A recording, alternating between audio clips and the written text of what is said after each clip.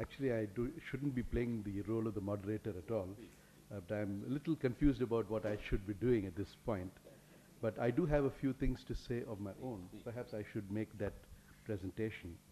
But let me respond to one or two statements made. Um, and I think Professor Kattimani would like to clarify uh, something which you had asked him about. That can come after I make my presentation. Is that okay? Right. Okay.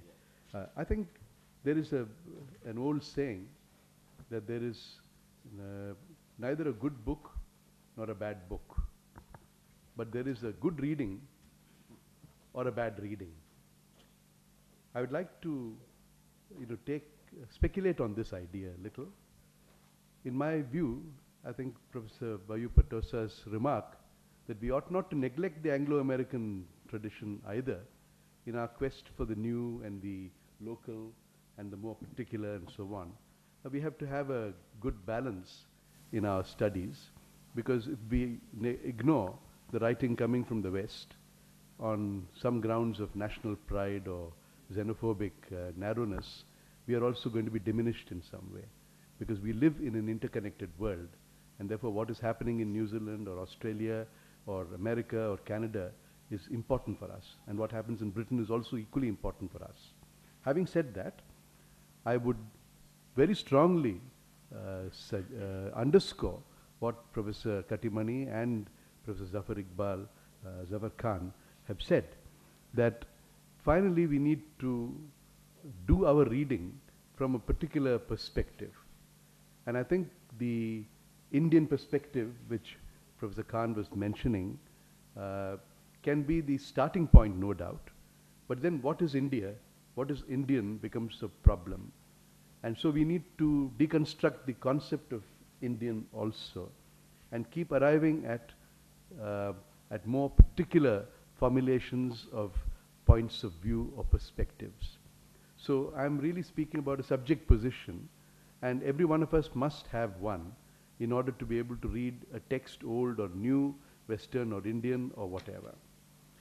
Now, I would like to try and uh, address this larger question in terms of something very uh, particular, and I think it's a very good uh, uh opportunity I have to respond to what Professor Kattimani was saying.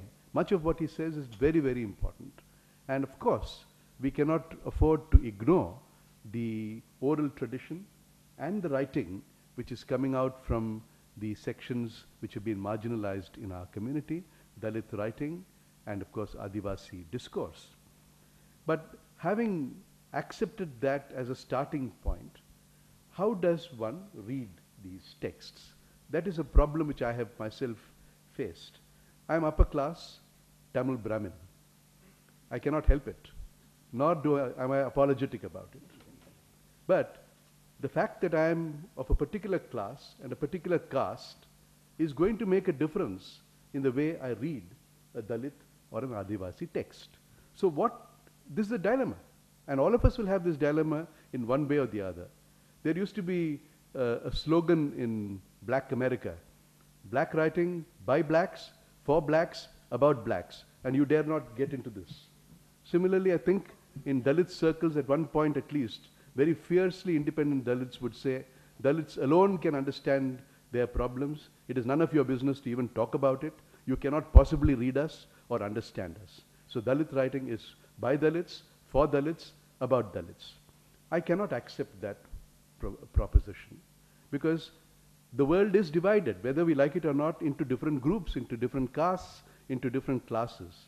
And I think the way of literature, unlike the way of politics, is to bring people together rather than separate them. Politicians are wonderful at you know, creating conditions for division. But literature has this wonderful adhesive quality, what Whitman called adhesiveness, where we can stick together, we can bring people together.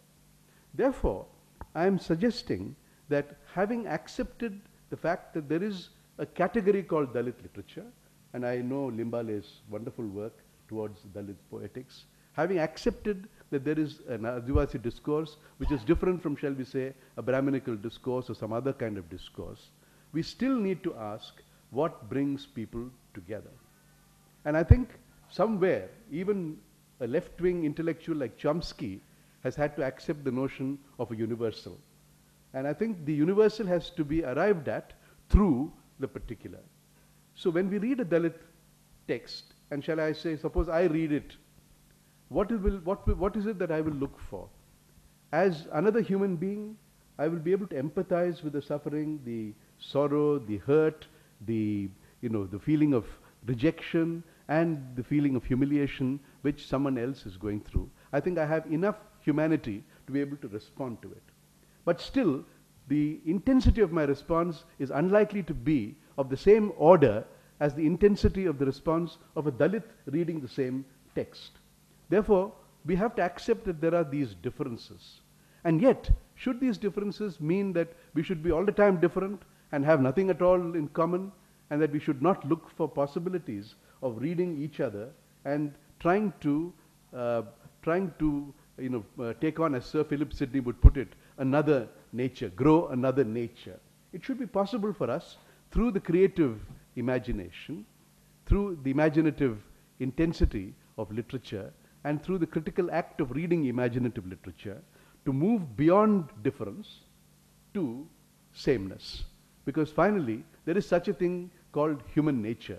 But human nature is, you know, uh, while it can be considered a monolith, it can also be seen as, in a way, informed by difference. So once we accept the fact that there is difference, it should be possible for us to see some sense of unity in this diversity. This is my dilemma, and I have not been able to sort it out. And I am very, very grateful to Professor Kattimani for having provoked this particular response from me. And I'll be glad to listen to what he has to say. And of course, I think uh, Professor Khan will be opening up the discussion to the audience as well. Ladies and gentlemen, before we talk about Professor Kattimani's uh, stand and some comment made by Professor Ramanan, I would like to say something about uh, Professor Vyupa Tosa's uh, presentation today. Professor Tosa uh, has been educated in the United States of America. Uh, she has been interested in British and American literature, but uh, her major work, it seems, is more on folk literature. And uh, she has really gone back to her roots. That's wonderful. The storytelling project, it is a very popular project in all American universities today. In fact, uh, in some American schools, even parents are called uh, once a week to come and tell stories to children. Because what has happened in American society is there's so much disintegration of family life that family has become nucleus.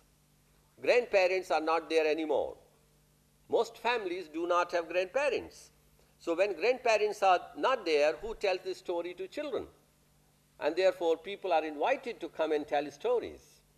Well, uh, Professor Tosa, uh, you did work in this uh, area, storytelling project, and what uh, impressed me very much that you encouraged the secondary school students to collect the stories.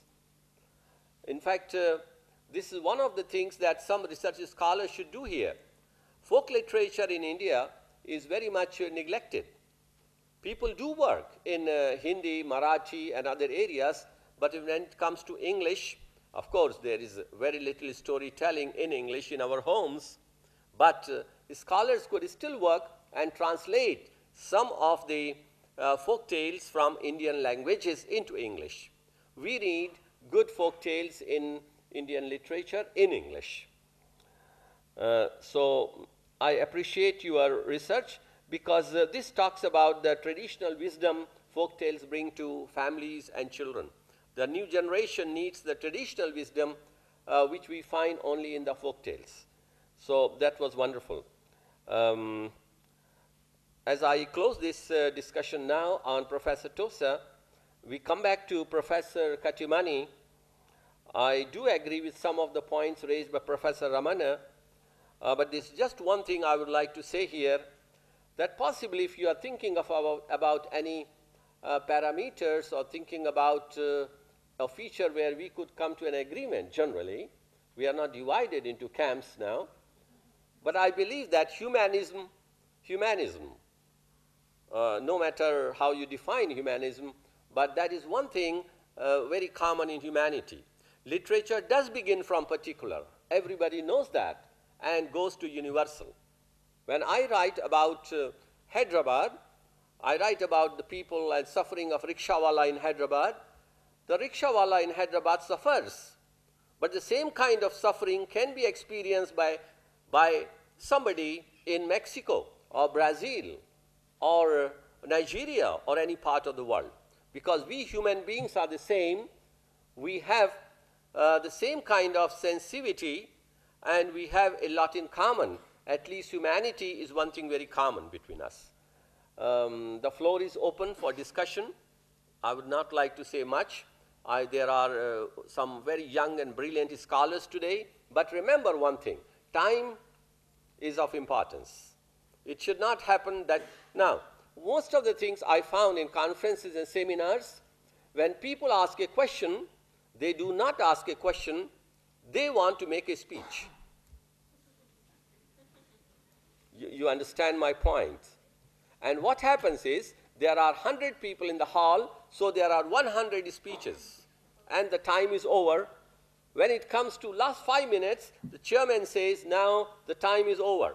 And some places I found the chairman even has to stand up and say, the time is over, he's thumping on the table.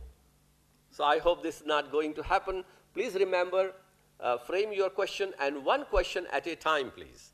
So we start with Professor Kattimani's presentation. Feel free to ask questions, but one question at a time.